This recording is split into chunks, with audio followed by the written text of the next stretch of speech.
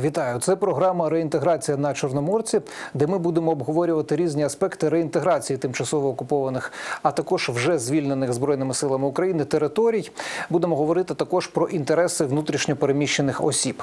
Шановні друзі, і сьогодні ми будемо говорити про Крим, а саме в аспекті тих викликів кримінальної та міжнародної політики, із якими стикнеться обов'язково українська влада після того, як збройні сили України зроблять свою справу, і ми перейдемо до реінтеграції Криму. І з нами сьогодні в гостях експерт Асоціації реінтеграції Криму Борис Бабін. Пане Борисе, вітаю вас. Доброго дня. Ну і хочеться насамперед розпочати із дуже важливої теми, із якою стикнеться українська держава. Вона стосується притягнення до відповідальності тих, хто брав участь у колаборації з ворогом. Нещодавно Таміла Ташева, представниця президента України в Автономній Республіці Крим, говорила про те, що сьогодні стаття про колабораціонізм, відповідальність за колабораціонізм, є в такий спосіб виписана, що практично кожного кримчанина, який понад 9 років перебуває в окупації, можна притягнути. Аж навіть ту людину, яка просто сплачує податки в окупаційні органи, вона вже підлягає під е, статтю закону. І відповідно Таміла Ташева говорить про те, що потрібно 111 статтю, частину першу, яка стосується відповідальності за колабораціонізм, до певної міри конкретизувати, звузити. Що ви можете з цього приводу сказати? Так, ця проблема існує. Ми це досліджували на експертному форумі в березні. Зібралися ті представники. Дослідники, фахівці, які дійсно більш-менш розбираються в тематиці, відповідні пропозиції були надані і до офісу президента, і до представництва, і до профільного міністерства. Вони були оприлюднені вже. Тобто, сенс зводиться, по-перше, до того, що дійсно у нас е, Україна до 22-го року тривалий час не запроваджувала відповідальність за колабораціонізм. Більш того, до кінця 2021 року, якщо не помиляюсь, у нас загалом діяв закон про вільну економічну зону Крим, так званий, який е, фактично, прямо скажемо, легалізовував комерційну діяльність на окупованій території. Далі, за умов масштабного російського вторгнення, було вже очевидно, що така ситуація неприпустима. Була криміналізована е, колабораційна діяльність, і дійсно та стаття, яка була прописана, вона стосувалася насамперед ситуації тимчасової окупації материкових районів України, так званої нової окупації. Щодо окупованих територій Донеччини, Криму, Луганщини, Севастополя, які були окуповані 2014 року, звісно, така категорія охоплює дуже широке коло населення. І тут у нас є декілька факторів. Перший фактор це фактор юридичний. У нас дійсно. Коли ми тривалий час цим людям розповідали одне, так, одну правову політику Україна вела, потім вона змінилася. Це не, е, скажімо так, е, питання більшості цих людей. Це юридичний аргумент. Далі аргумент ще є е, суто практичний. Е, безперечно, кримінальна політика має е, мати таку рису, як економність. Ми не можемо фізично запровадити 500 тисяч умовних кримінальних проваджень протягом розумного часу. Нам на це необхідні люди, нам на це необхідні правоохоронці, судді і так далі. Ну, у нас з цим дуже великий дефіцит. Прикладом, за 2022 рік в Україні не призначено жодного судді. Так? Це Йдеться про справи, які стосуються Йдеться за просто нема, нема жодного призначення за рік. Тобто, друге питання, ви знаєте, що сьогодні з Верховним судом. Так? Там є певні негативні ситуації. За таких умов чекати, що в розумний строк за рік, півроку, 500 тисяч людей отримують вироки, це, вибачте, утопія. Ми просто не можемо на це розраховувати. Далі цих людей слід годувати, охороняти після того, як вони отримують покарання. Це витрати. Тобто ми тут бачимо з точки зору навіть простого здорового глузду, що це не здійсненні задачі, утопічні задачі. Тобто пенітенціарна система України вона Не не, спроможна це абсолютно. потягнути. Але, пане Борисе, тут існує і протилежний аспект. Ми дуже добре розуміємо, що в українському суспільстві є запит на справедливість. Зараз збройні сили України ціною надзвичайних жертв будуть звільняти окуповані території, в тому числі Крим. І відповідно буде великий запит на те, щоб люди, які співпрацювали з ворогом, вони все таки понесли відповідальність. Так, але тут виникає питання диференціації. Знов таки кажу, ми маємо аксіоматичним, що ми не зможемо притягти півмільйона людей. Тому ми маємо диференціювати відповідальність тим, щоб частина цих людей, звісно, яка вчиняла найбільш небезпечні форми колаборації, так скажемо, які дійсно становлять величезну суспільну небезпеку, отримувала. Покарання в межах реального позбавлення волі, так і інших подібних заходів. Е, також ця диференціація вона важлива з іншого виміру. На сьогодні де юре у нас абсолютно однакова відповідальність має е, вахтер на е, будівлі так званої злочинної адміністрації окупантів Девід Джанкою і голова цієї адміністрації. По-перше, це несправедливо вже. Ви ж казали, що суспільство хоче справедливості. Так отут її нема. Друге, і це важливіше, це корупційні ризики. Бо ми розуміємо прекрасно, що коли наші правоохоронці будуть е, порушувати відповідні кримінальні провадження, вони не зможуть знов таки охопити 500 тисяч водночас. З кого слід починати? А з кого слід починати? З вахтера, який нічого не має. Той, хто абсолютно не зможе себе- себе захистити. Так, або так? з людини, яка накрала на 9 років землі, статки і все інше. Як ви думаєте, в реальному житті з кого це почнеться? Це справедливо? Не дуже. І тому ми маємо диференціювати те, цю ситуацію таким чином, щоб, по-перше, правоохоронці мали чітке завдання на ви- виявлення і покарання топових колаборантів. Сьогодні вони законом на це не мотивовані. Подивіться на провадження на деокупованих територіях. Тобто там ми бачимо дуже широкий спектр осіб притягнутих до відповідальності різного характеру. Це законно, але виникає питання, де топові персонажі з цих територій? Невже вони всі потікали? Друге питання це питання е, бази, тобто величезної кількості дійсно осіб, які вчинили колаборантські дії. Фактично співпрацюючи з злочинною адміністрацією або будучи на якихось е, міноритарних посадах, це питання, я вважаю, має каратися, але ми маємо виходити тут, по-перше, у формат і адміністративної відповідальності, так, позбавлення певних прав.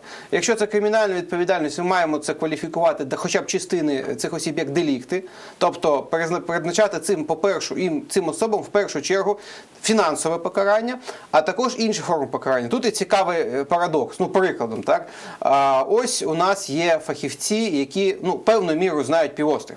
Вони колаборанті.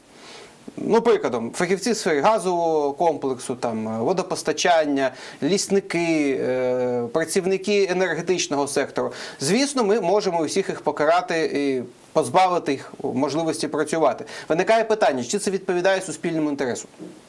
Тобто півострів має функціонувати, економіка має функціонувати. Тобто, пане Борисе, якщо я вас правильно розумію, ми маємо категоризувати або Так. зробити певну класифікацію. Так. Є люди, які працювали безпосередньо в адміністраціях і відповідно мають нести кримінальну відповідальність. всі мають Причому нести- топовий, вони так? мають причому топовий рівень.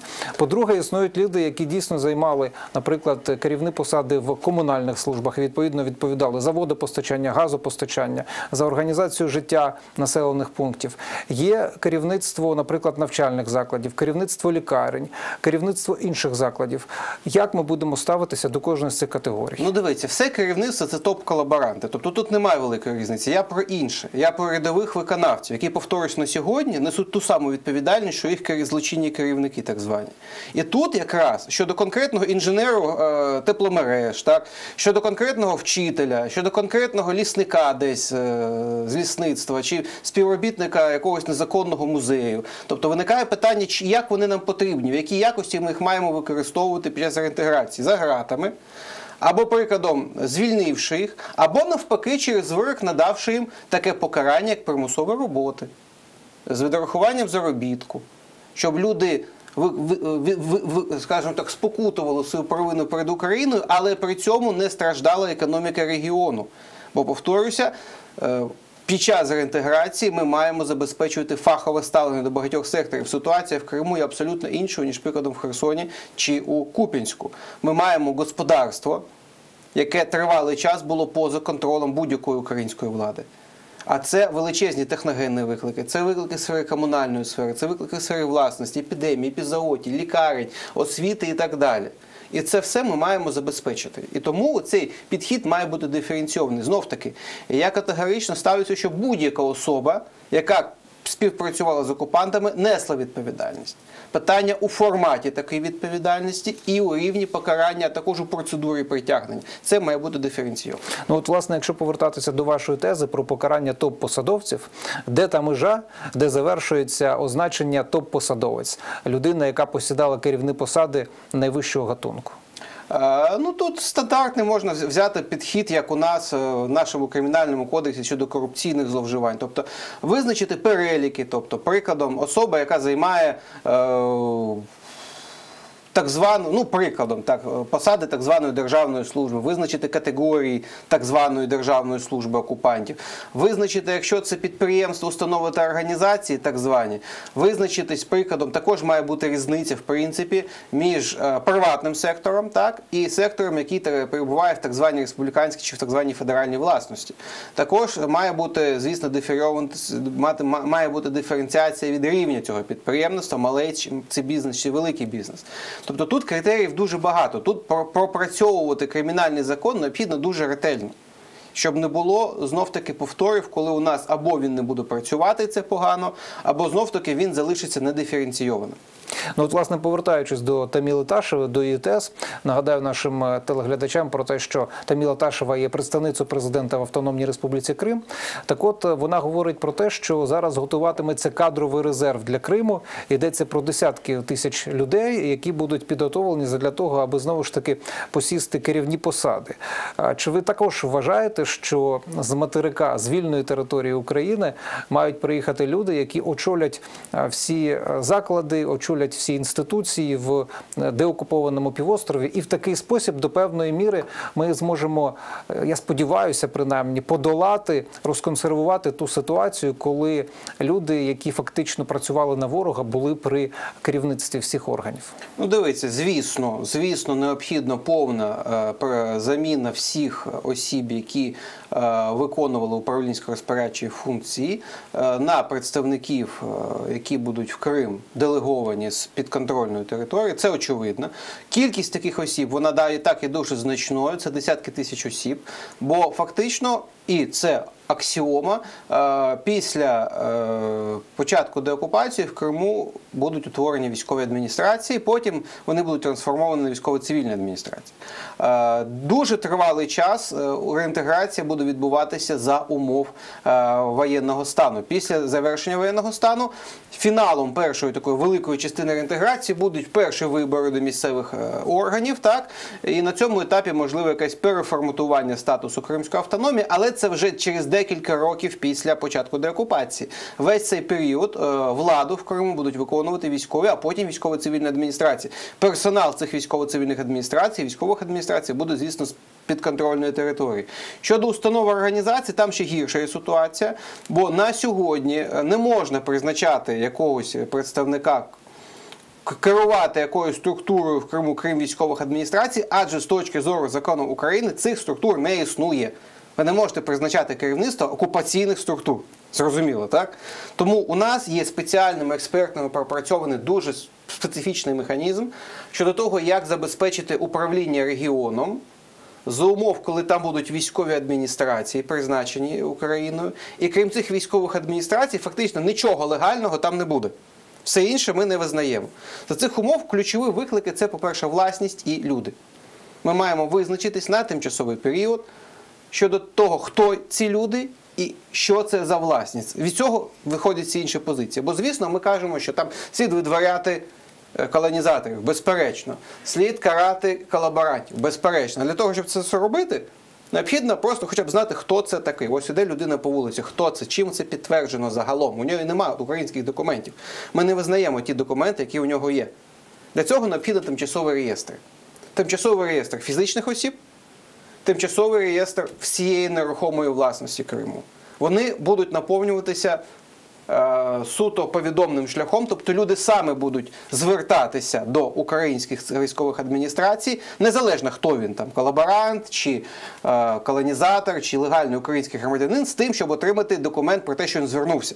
Без Але цього багато документу людей, я думаю, можуть і ховатися, якщо їм є що приховувати. Ну, а куди він сховається? Ну, я, ні, хтось, звісно, сховається. З двох мільйонів осіб, звісно, є якась, знаєте, така суто маргінальна ситуація. У нас, знаєте, в Криму люди жили 20 років за радянських паспортів. Окремі. Це буває.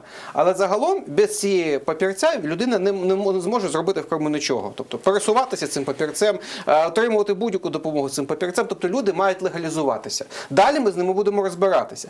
Приблизно така ситуація з власністю. Людина має задекларувати власність, яка йому, як він вважає, належить. Чому? Тому що власність це відповідальність. Моделюємо ситуацію. Ось у нас є Джанкой, в Джанкої хлібзавод. Єдиний, умовно. Він е, під контролем якогось російського бенефіціара, незаконним. Е, Ми переходимо в Джанкой. Військова адміністрація має забезпечити, що? щоб в місті був хліб. Поки ми будемо судитися, карати, конфіскувати, це ж не один день, правильно? А в місті має бути хліб. І тому оці перехідні реєстри мають визначити відповідальну особу, умовного там так званого директора, який приходить і каже, я такий-то, я відповідаю за це підприємство, за його роботу, поки ви не призначите законного представника або ж не визначите в судовому порядку чи приватний об'єкт, хто тут буде. Ці фізичні особи мають нести відповідальність за функціонування економіки Криму. І з цього вже випливає дуже багато побічних ситуацій. Прикладом, прац- трудові відносини. В Криму ми не зможемо запроваджувати з першого дня українські закони про працю, бо тоді там все встане, бо там абсолютна більшість населення не легалізовано з точки зору українського КЗПП. Податки ми маємо запроваджувати відповідні е, фіскальні е, амністії. Бо ця вся економіка, яка там буде працювати, яку Україна буде поступово легалізовувати, ось на цей перехідний період вона ще не повністю легальна. Як з неї стягувати податки? Е, Бюджетні ми маємо регламентувати питання, питання державних закупівель, питання боротьби з корупцією і так далі. і так далі, і так далі. Пане Борисо, ну насправді в репліці своїй ви торкнулися дуже багатьох аспектів, які напевно потребують деталізованого огляду Абсолютно. і цілком е, на- на те, щоб окремі програми навіть е, про це Так. створювати. Наприклад, ви торкнулися так побіжно тези про те, що після того як буде працювати військова адміністрація, потім військово-цивільна адміністрація, можливо, постане питання зміни адміністративного устрою Криму. Так я думаю, що це не тема нашої програми, але в двох словах. Якої ви думки? Тому що дискусія щодо того, область Кримська чи поточна автономна республіка Крим, чи національна кримсько-татарська автономія, вони зараз в суспільстві тривають. Ви знаєте, є люди, які розмовляють заради піару. Я юрист. Тобто, для мене є е, те, що ми визначаємо за можливе і неможливе. Що неможливе? Неможливо змінити поточний статус Криму до закінчення воєнного стану. Є Конституція України.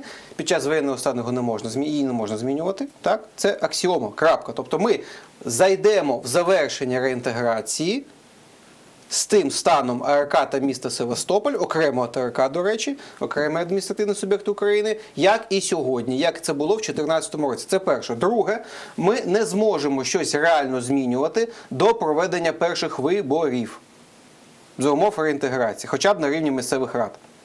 Бо рано чи пізно ми все одно змусимо чути думку населення. Крім того, ми маємо почути думку кримсько-татарського народу, саме народу, так? а для цього нам необхідно провести самим кримським татарам за сприяння української держави вибори Курултаю і Меджлісу, які Тому що зараз ці органи фактично які не обиралися з нелегітимні, так? 13 Ну, давайте так, вони легітимні, поки є ситуація форс-мажору. Як тільки Крим повертається до більш-менш спокійної ситуації, ну, українське військо в Криму, це питання виникає. І, до речі, вибори Королтаю це не вибори до Верховної Ради, це не вибори місцевих рад. Їх можна проводити і під час військового стану. Пане Борисе, так само ще одна теза, до якої ви зверталися, і вона є надзвичайно важливою і надзвичайно чутливою. Йдеться про видворення росіян. Ясна річ, від 2014 року на територію Криму спеціально росіяни завозили напевно сотні тисяч росіян. Достеменного обліку, ясна річ, в нас не існує, хоча припущення є. І відповідно постає запитання, в який спосіб вони будуть видворятися з території України. Чи існує вивірений з юридичної точки зору спосіб для того, аби міжнародні партнери, в тому числі, не мали претензій до нас? Ну, дивіться, по-перше, це слід працювати вже зараз. На жаль, це не робиться. Чому? Тому що на сьогодні ми маємо декілька сот тисяч таких осіб. До того, повторюся, до того, як їх видворяти і як схвалювати щодо них рішення, зокрема там прикладом і судові, бо там хтось буде військовий злочинець прикладом, а хтось буде військовополонений прикладом, бо там же будуть люди в погонах окупантів, правильно? І за цих умов нам, по-перше, необхідно зробити облік. Те, що я казав, тимчасовий облік всіх осіб. Оце є перший гуманітарний крок, щоб потім ніхто з російської пропаганди не розповідав нам про фейкові розстріли, так і інші якісь там фейкові речі. Для цього, по-перше, всіх слід облікувати. Це перший крок. Для цього слід створити цей реєстр.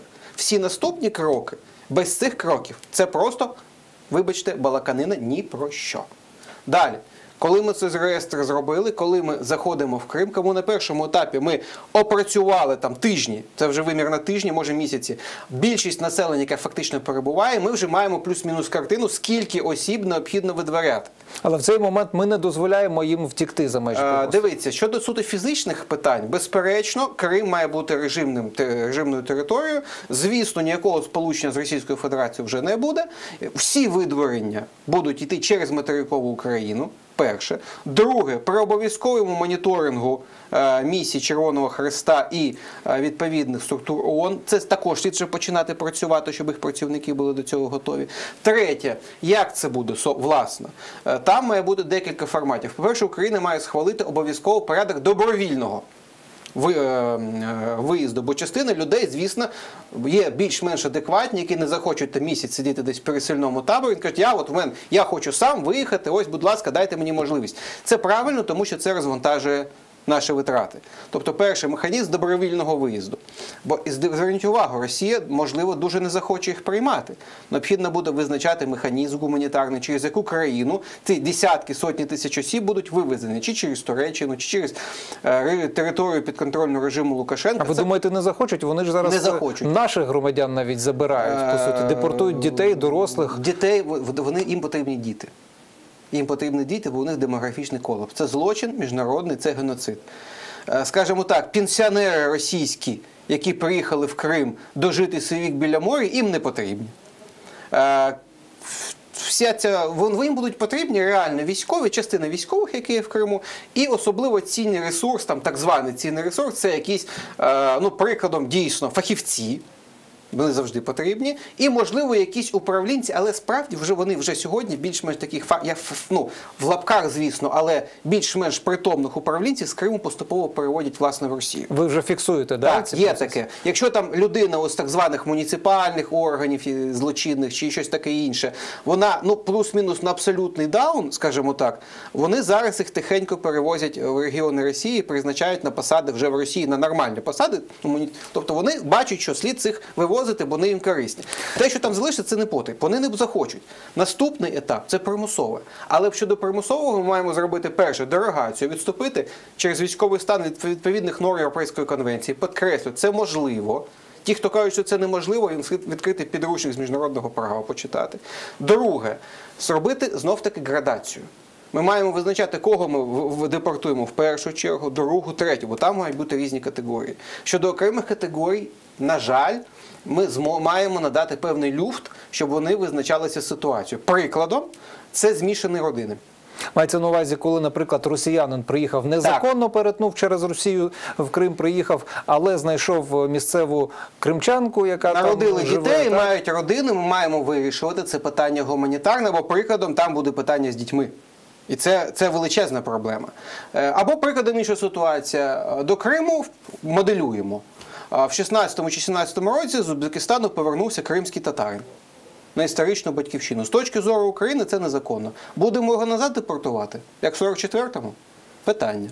Тобто такі от складні питання це мають бути хоча б люфт зроблений. Має бути перша категорія, друга категорія на видворення, третя і так далі. Пане Борисе, але я так розумію, все-таки в комунікації, в тому числі із нашими західними партнерами, із громадськими організаціями, цього питання потрібно, напевно, що достеменно розмежовувати, що не потрібно змішувати поняття депортації в тому сенсі, як, як це робила радянська влада, е, влада злочин, наприклад, щодо кримсько-татарського народу, тому що це корінний народ, який проживав на цій території сторіччями, він був незаконно депортований. В даному разі йдеться просто про видворення людей, які незаконно заїхали на нашу територію, незаконно перетнули кордон.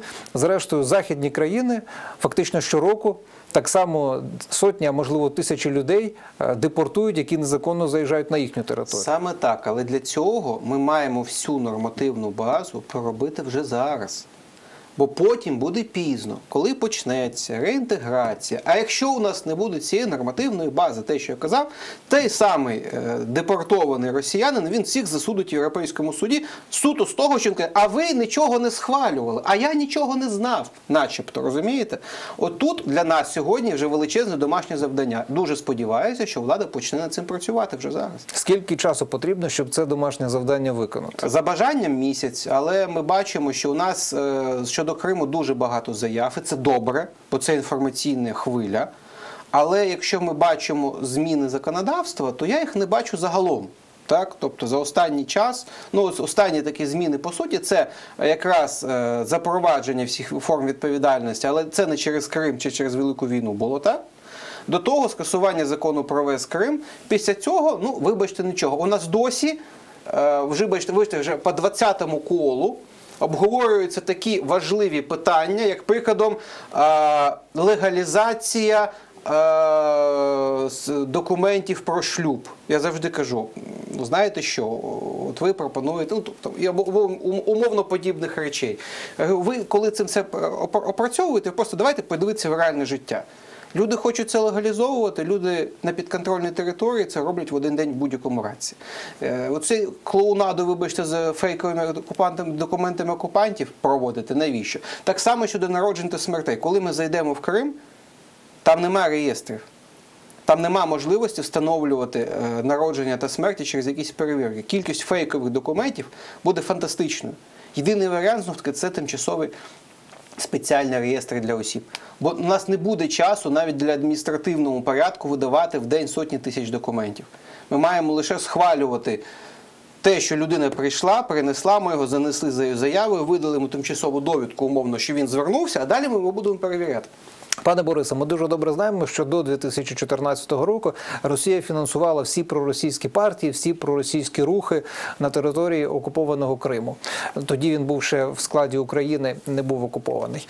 Е, О, Після того, як ми Крим звільнимо, абсолютно немає гарантії, що Росія не продовжить створювати і фінансувати якісь там об'єднання. Я так розумію, що поки буде діяти військова і військово-цивільна адміністрація, діяльність таких будь-яких громадських організацій, які будуть е, маскуватися під е, демократичні, буде заборонено. Чи в який спосіб будемо долати російський вплив і російську присутність? Ну, дивіться, щодо російського впливу в Криму. Е, Він завжди був прямим та опосередкованим. Прямим це напряму спецслужби РФ Москва. Е, Це більш було помітно в Севастополі завжди.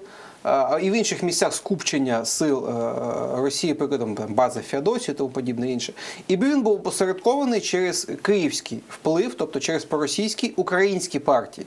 Умовно кажучи, прикладом, коли у нас був президентом пан Янукович, основний проросійський вплив в Крим йшов через пана Януковича. І 90% всіх діянь, які готували відповідно окупацію Криму, готувала власна, ну фактично українська влада, яка там була. Ну важко її назвати українську, але формально де юре це була єдина система партія регіонів, клан е, так званого пана Біти Джарти тому подібне інше.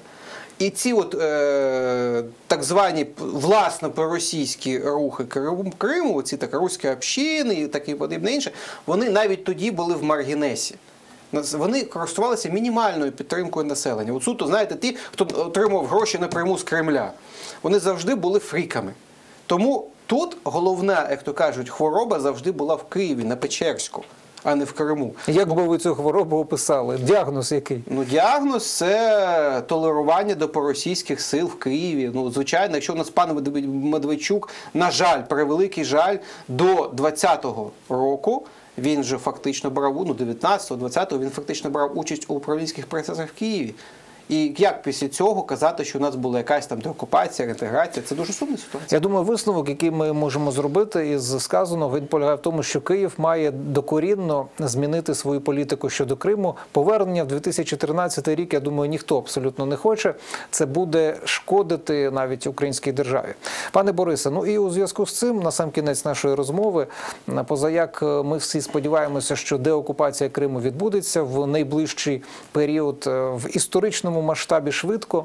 Відповідно, постає запитання, які зараз сигнали Київ, власне кажучи, має надсилати мешканцям окупованого півострова Крим, українцям, українським громадянам, які там залишатимуться. І друге російським громадянам, які навпаки мають втекти. От дві тези, будь ласка, стисніть. Ну дуже просто. Щодо колонізаторів, теза проста: виїжджайте. Бо ми потім будемо мати клопот з вами вашим видворенням, і вам це не цікаво буде явно, і нам це не цікаво буде явно. Чим менше вас залишиться, тим краще. е, для вашого ж комфорту. З точки зору е, іншого населення, тобто тут готуйтеся до того, що ваші дії під час окупації будуть перевірятися. Е, Зберігайте усі документи, які були видані до 2014 року, але все одно при цьому готуйтеся до верифікації і знов таки плануйте собі е, життя у деокупованому Криму у післявоєнній Україні, адже воно не буде таким, як сьогодні, і не буде таким, як до 2014 року. Прикладом, кримська економіка буде іншою, кримське суспільство буде іншою, і місце Криму як складової частини України в рамках євроінтеграції також буде іншим. Для цього слід готуватися. Пане Борисе, спасибі за цю надзвичайно цікаву. і, Я переконаний пізнавальну програму. Друзі, хочу нагадати, що сьогодні в програмі реінтеграція на Чорноморці ми спілкувалися із експертом асоціації реінтеграція Криму Борисом Бабіним. Ну і далі в нашій програмі будемо говорити про програму є відновлення. Йдеться про Кабмін. Е, ухвалив програму, яка дозволяє компенсувати пошкоджене росіянами житло.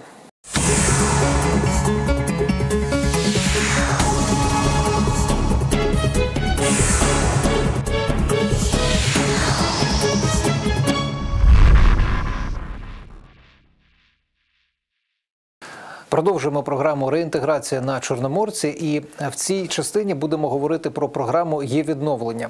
Кабінет міністрів ухвалив програму, згідно з якої кожен українець, чиє житло постраждало внаслідок російської агресії, може отримати компенсацію. І детальніше про цю програму будемо сьогодні говорити із керуючим партнером адвокатського об'єднання Аторнейс Юнайтед Миколою Голодняком. Пане Миколо, вітаю вас. Да, доброго дня.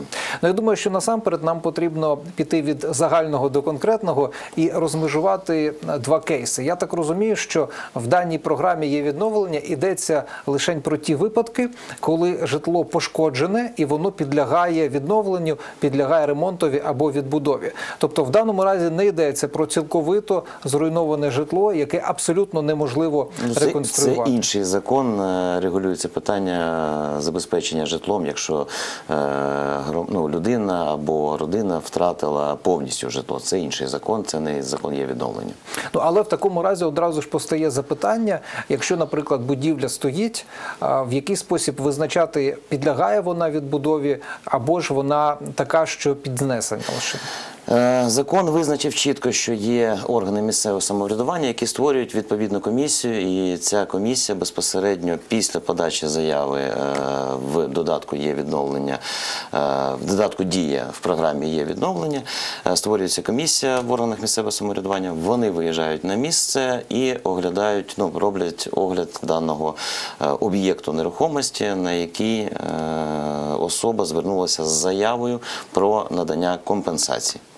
Я так розумію, що поза як ви ведете мову про органи місцевого самоврядування, то в даному разі може йтися лише про ті території, які вже деокуповані. Да, це, тобто, ви- якщо це виключно законодавець визначив чітко, що е, не може розраховувати особа на компенсацію на окупованих або на тих територіях, на яких зараз ведуться бойові дії.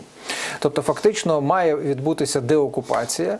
Опісля того мають бути встановлені місцеві органи влади або військово-цивільна адміністрація. Так? Так. і тоді, коли е, ці процедури вже перейдено, тоді може особа звертатися щодо компенсації. Не зовсім так. Особа може звертатися і зараз, Е, але цю заяву е, фактично її реалізація як буде відбуватися, тому що заява повинна розглянути бути законодавець чітко визначив протягом 30 днів. Тобто 30 днів або прийняти якесь рішення, і про це рішення особа повідомляється у додатку Дія. Ну в програмі є відновлення, тому що тут буде багато питань, коли ще йдуться бойові дії, е, вони території не окуповані, але люди вже хочуть щось робити, отримувати гроші на відновлення. Е, Знову ж таки, законодавець визначив чітко, що де ведуться бойові дії, там е, програма не працює. Тобто, поки там не припиняться бойові дії. Які документи потрібно зібрати особі, яка, наприклад, подала вже заявку? Опісля цього е, відповідна комісія може прийти обстеження робити або складати певний акт, протокол. Які документи потрібні для того, аби довести ну передусім власність, і що іще потрібно? Ну е, дійсно є велика проблема з е, правом власності, тому що в багатьох населених пунктах будівлі не введені в експлуатацію. Тобто є якийсь приватний будинок, який людина собі на земельній ділянці збудувала і не отримала право власності. Тобто в неї є документи на земельну ділянку, а на будинок е, документи відсутні. Там будуть певні проблеми, але вони теж вирішуються саме цією комісією. Ну, що будинок є, що особа зверталася, наприклад, за реєстрацією права власності. Щодо підстав е, документ, що підтверджує право власності, це витяг з е, єдиного реєстру майнових прав. Тобто людина може сформувати його як самостійно, ну тобто зареєструватися в відповідному реєстрі і отримати також в територіальних сервісних центрах. Ну, якщо я не помиляюсь, там є навіть окремий е, зараз порядок видачі документів на право власності на житлові будинки, ну на нерухоме майно зробили. Знову ж таки, якщо я не помиляюсь, тому що питання було дуже е, довго обговорювалось, так як е, припинялись на час е, е, початку війни, закривалися всі реєстри, і щоб ніхто не міг отримати з злочинних намірів е, такі відомості.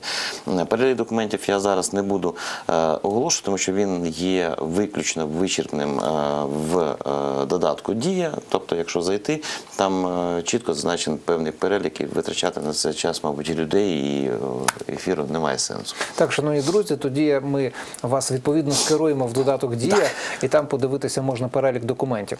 Пане Миколо, але я хочу повернутися до вашої тези про те, що в сільській місцевості часто дійсно трапляється така ситуація, що будинок був побудований, але людина його не вводила в експлуатацію, і фактично в органах місцевої влади немає навіть документації, немає даних про площу цього будинка, немає його схеми. І відповідно постає запитання: по-перше, а як людина дійсно може верифікувати, що цей будинок належав їй? Е, Слово старости навряд чи тут буде діяти. Да? Староста сказав, підтвердіть, будь ласка, що я тут жив. По-перше, і по-друге, коли постане питання обрахунку, наприклад, площі, знову ж таки, як довести, скільки поверхів мала будівля, скільки, власне кажучи, квадратних метрів вона містила, щоб обраховувати суму, яка може надаватися. От як дійсно діяти в такій ситуації? Я Це, думаю- це реальна проблема. Це дійсно проблема. Я думаю, що вона буде визнача... вирішуватись лише в судовому порядку, коли людина буде визнавати право власності, коли буде в судовому порядку надавати е, документи, підтверджуючи, що особа будувала цей будинок, е, яка вартість цього будинка, чи є проектно-технічна документація, і вже суди будуть надавати оцінку цим доказам, чи дійсно вони е, є допустимими, і чи можна на підставі цих доказів вважати, що будинок побудований і підлягає введенню в експлуатацію, а відповідно зареєстру- реєстрацію права власності.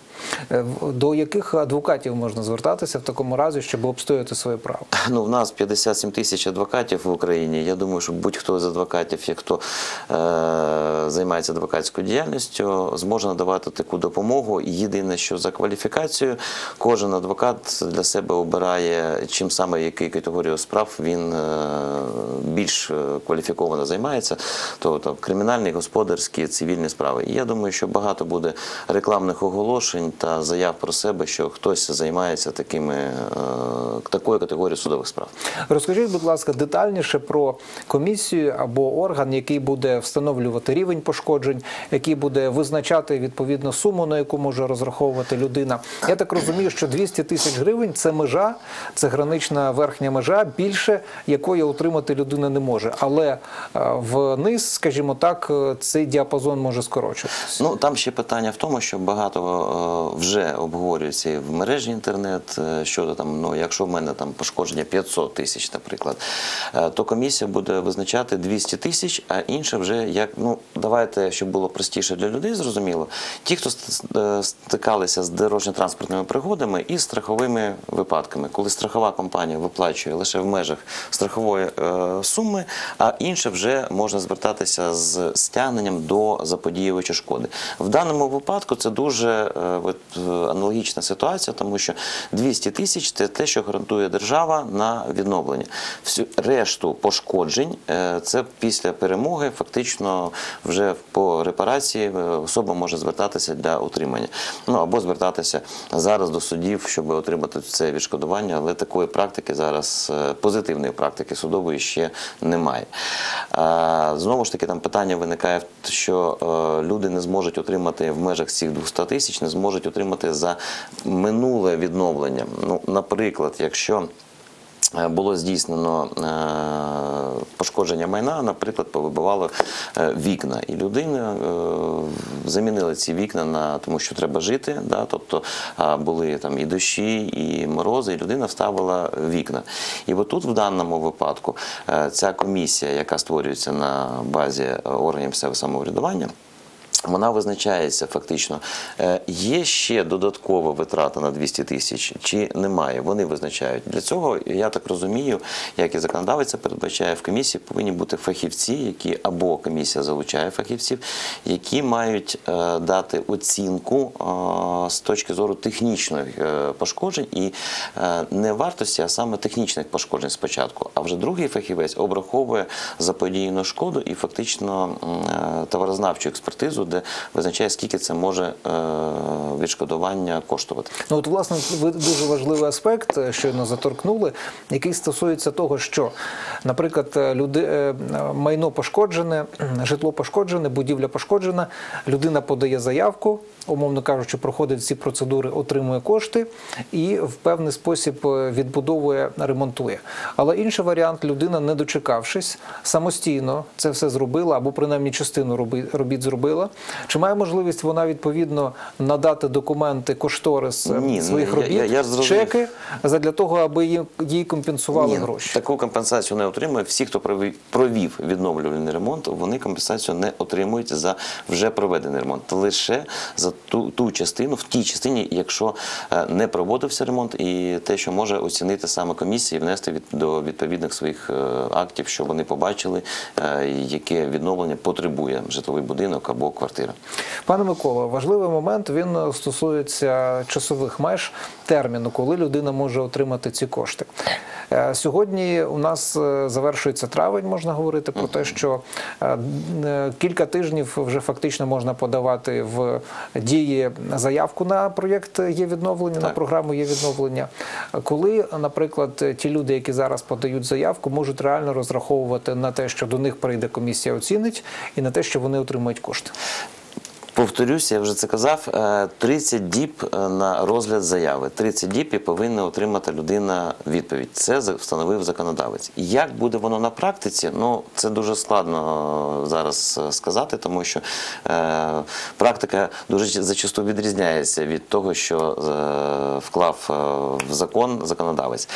А ось гроші використати можна буде протягом лише 12 місяців. Якщо особа за 12 місяців не використала гроші, то решта повертається в, ну, до державного бюджету, звідки і надходили ці гроші. І тут знову ж таки важливо розуміти, що сама картка є відновлення, яка відкривається у зараз обмеженої кількості банків, е, називаємо так банки-партнери, як законодавець визначив. Е, Там можна буде розрахуватися цією карткою лише за е, товари або послуги, які е, по банківському е, код банківський е, відкриття рахунку код в банку е, є або е, будівельні матеріали, або бу- ремонтно-будівельні роботи. Ну тобто тому люди, ну, людям буде інколи дуже складно, навіть після отримання грошей не у всіх місцевостях є, наприклад, відповідність, тому що. Наприклад, будівельний магазин, який в селі звикли вважати його будівельним, а він взагалі там має код класифікації е, по банку, наприклад, такий як е, там, ну, торгівля, е, оптово роздрібна торгівля там, або харчовими продуктами. І коли людина захоче розрахуватися за ту ж там шпаклівку або там якісь інші будівельні матеріали, він не зможе зробити цю оплату, тому що безпосередньо продавець не буде в банку мати такий код. Тобто потрібно, я так зрозумів, їхати десь в інший регіон, Якщо немає в своєму і в магазині, який відповідає так цій класифікації, купувати відповідні матеріали. От важлива тема, якраз людина отримала кошти і пішла купувати матеріали. Е, Ще раз, е, коли отримує людина певну суму грошей, ну нехай 150 тисяч, да, з 200 можливих, людина отримує. Вона має завчасно дати пояснення або дати певний перелік тих матеріалів, які вона планує купувати, і потім звітувати. Чи вона вже може використовувати ці кошти, як їй заманеться, якщо це відповідає якраз тій класифікації? Так постійно наголошую на тому, що є в даному випадку е, спосіб контролю держави цих коштів, що, їх можна витратити виключно в е, мережі або будівельних магазинів, які там мають код. Я там собі брав шпаргалочку. Е, будівельні е, магазини, код е, в банку 5211, або е, роботи по е, підрядники е, в галузі будівництва 1520. Якщо у е, юридичної особи або суб'єкта підприємської діяльності фізичної особи не буде цих кодів банку, людина не зможе оплатити е, цією карткою е, дані послуги, ну той рахунок, який виставлять. Ну от в даному разі щодо будівельних матеріалів більш-менш зрозуміло. А що стосується будівельних робіт, тобто на ці кошти можна замовляти лише матеріали, чи також можна замовляти і будівельні ремонтні роботи? І до кого в такому разі, до яких саме компаній може людина звертатися? Законодавець визначив чітко, що можна і за роботами ну, замовляти, і будівельні матеріали. Чому таке е, законодавець дав такий е, простір, на мою думку? Тому що багато хто з українців вміє сам е, лагодити своє е, помешкання, свою оселю. Українці є е, господарник, Саме так, да, да. І тому кожен зможе, ну більшість українців можуть самі полагодити свою оселю, якщо в них є для цього інструменти та будівельні матеріали. Ті, хто не можуть, можуть звертатися до підрядних організацій в галузі будівництва. І тут можуть будь-які організації, але знову ж таки ці організації повинні мати вид діяльності як е, в будівельній галузі. Якщо такого виду діяльності не зареєстровано, то до таких організацій людина звертатися не може. Е, Ну і важливе питання, яке я думаю, що багатьох хвилює, це все-таки е, черга. Так, тому що очевидно, що е, бюджетних коштів на всіх одразу може не вистачити. Чи існують тут якісь критерії, за якими допомога буде надаватися в першу чергу, наприклад, такі категорії, в другу чергу інші категорії? Чи кабінет міністрів щедро передбачив е, максимальну суму грошей, яка може задовольнити одночасно всіх прохачів? Ні, знову ж таки е, визначено законом першочерговість, кому надається е, така допомога. Я можу зачитати. Так, будь ласка, Е, тому що це важливо. Е, Фактично пріоритетним надається допомога це учасникам бойових дій, людям з інвалідністю внаслідок війни, ветеранам війни, членам сімей загиблих військових, мобілізованим, багатодітним родинам, людям з інвалідністю першої та другої групи, батькам, вихователям дитячого будинку сімейного типу, опікунам, піклувальникам, прийомним батькам та патронатним вихователям, дітям сиротам та дітям е, позбавлення батьківських е, позбавлення батьківського піклування. Це пріоритетні е, категорії населення, які отримують в першу чергу е, таку е, компенсацію. Ну от е, я насправді уявляю собі, що юридична сфера це дуже складна сфера, де може бути багато нюансів.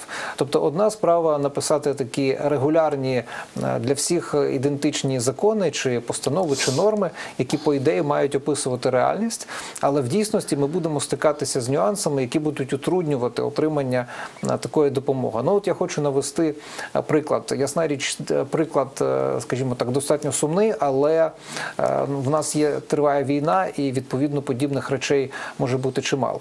Наприклад, е, власником квартири є воїн збройних сил України, який фактично числиться таким, що пропав безвісти. Про нього немає даних. Неможливо зафіксувати ні його е, статус, що він живий, ні так само зафіксувати, що він помер, і відповідно видати довідку.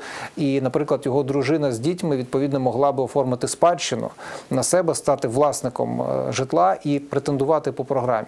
Чи в такому разі, якщо житло таке пошкоджене, ця родина може мати якийсь варіант? Ну, варіант має, має е, звертатися може, але знову ж таки тут буде питання е, за комісію. Чи комісія прийме це е, рішення, що ця особа є відповідно правонаступником або особою, яка має е, право звертатися на таке е, ну, за відшкодування заподіяної шкоди. Але якщо бути відвертим, е, я розумію, що е, це моя особиста думка, і вона буде побудована більшою частиною на практиці, як в загальній практиці судовій, яку я спостерігаю. Е, Все ж таки, це будуть відмови, і особи будуть йти до суду, ну вимагати судового рішення про надання такої компенсації. Дійсно, є велика проблема з тими, хто є пропавлий безві- безвісті. Є е, проблема з тими, хто е, не маючи там статусу станом і на- і на сьогодні ще не отримали, і є загиблими, і люди звертаються ну, з відповідними е, заявами до військоматів, щоб отримати якісь там або компенсації з інших питань, або хоча б розуміти статус. А щодо спадщини, там інше питання. Законодавець нам продовжив е, строк е, набуття спадщини з 6 місяців до 10 місяців. Тобто, фактично, після е, звістки про смерть е, людина зможе набути право власності за спадщиною через 10 місяців. І е, буде дійсно складно і важко тим, хто ще не набув право власності, тому що цей строк 10 місяців ще не сплив. Е, Там лише чекати. Там чекати, поки отримують право на спадщину. 10 місяців це зараз стосується абсолютно всіх громадян України, так, Так, так. тому що у нас воєнний стан, і відповідно може бути важче вчасно вкластися в 6 Шість місяців. місяців, Так, так, так, А От е, якби, наприклад, подібна ситуація, яку я описав, трапилася, людина пішла би до суду.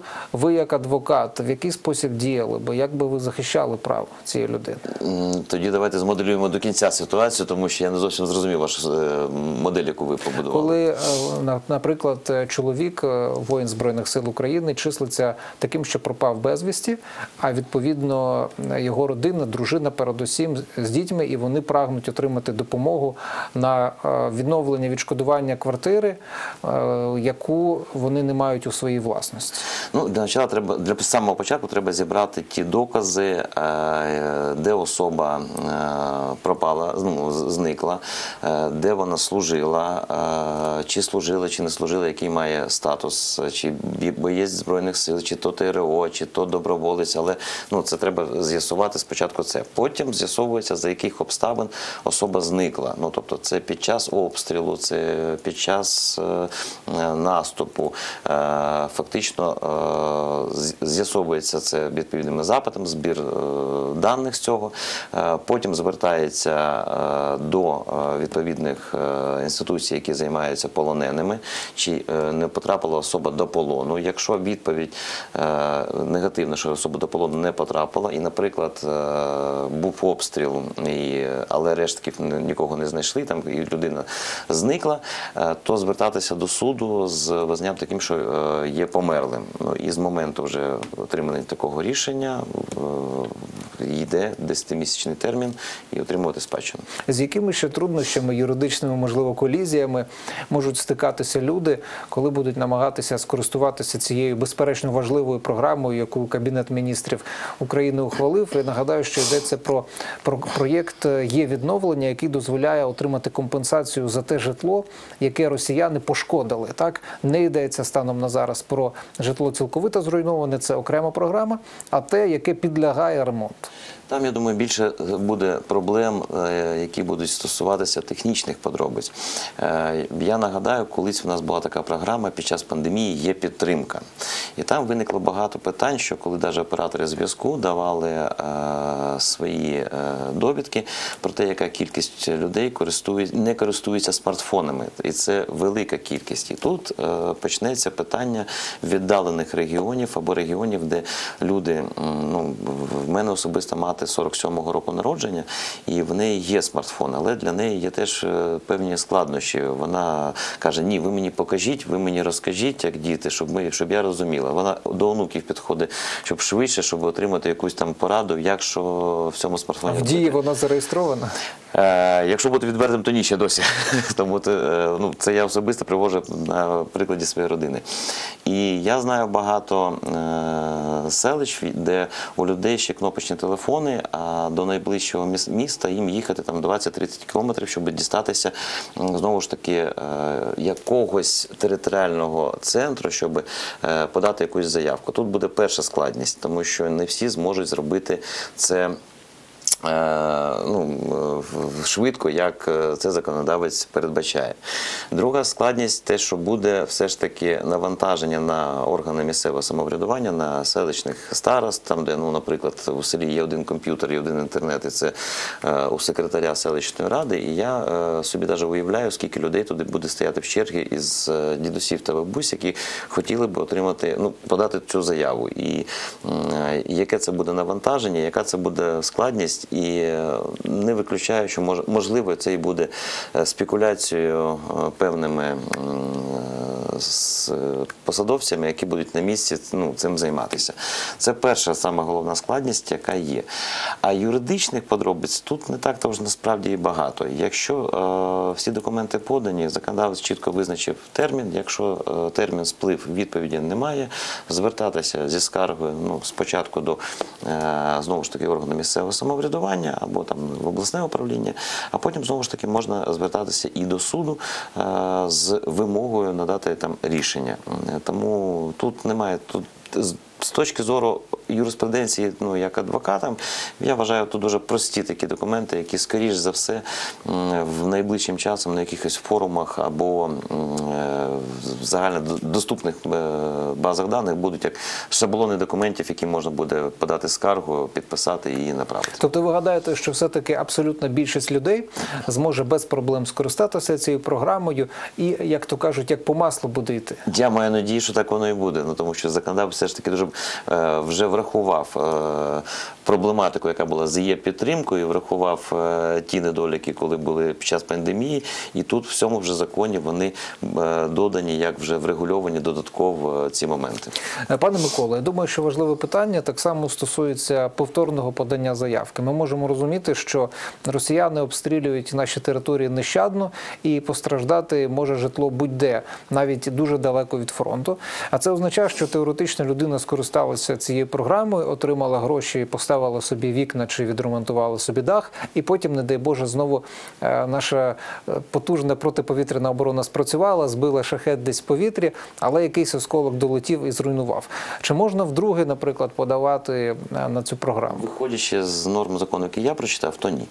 На жаль, чекати або нового закону. Ну тобто я не бачу як е, того, того інструменту, як би законодавець це врегулював. І думаю, що все ж таки це є е, зараз допомога за- вже, вже пошкоджено. Ну тобто майно. Пане Миколо, ну от будемо поволі ми підбивати підсумки нашої розмови. Я думаю, що вона була корисною для телеглядачів.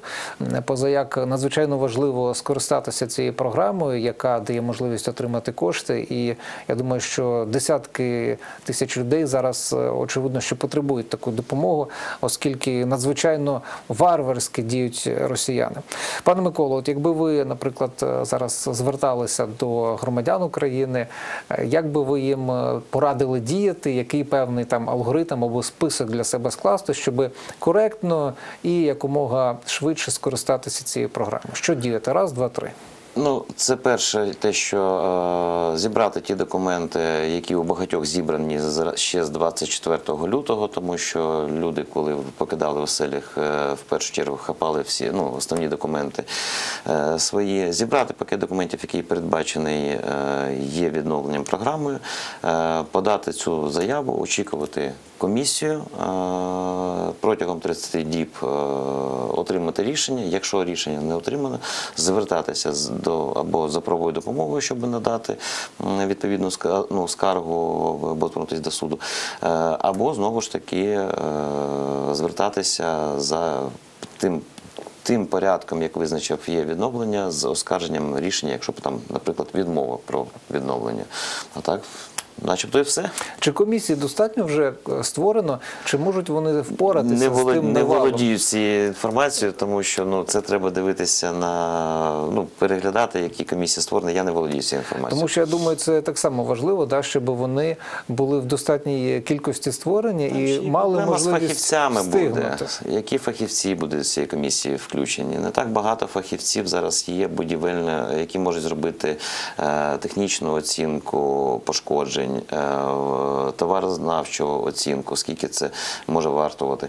Наголошено на тому, що багато фахівців зараз є е, мобілізованими, пішли добровольцями. І тут інше питання, де в де в яких територіальних громадах з кого буде формуватися ця комісія, і чи будуть там дійсно фахівці, і е, або їм треба буде фіксувати фактично фото, відео там пошкодження і відправляти кудись, де вже хтось буде робити оцінку ну, цих, цих пошкоджень і вартості відновлюваного ремонту. Так, ну тому власне я і порушив це питання. Так чи створені ті комісії залежно від того, який регіон буде е, власне в їхньому підпорядкуванні, в їхньому контролі, чи встигатимуть вони все це. Це до посадовців більше ніж до адвоката. Це до посадовців, пане Микола. Але я вам дуже дякую за те, що ви з точки зору якраз адвокатської проконсультували, можна сказати, наших телеглядачів. Я думаю, що багатьом стане зрозумілішою після того, як вони прослухають цю програму, зло- зрозумілішою ця проблематика і той шлях, який потрібно подолати, щоб отримати компенсацію.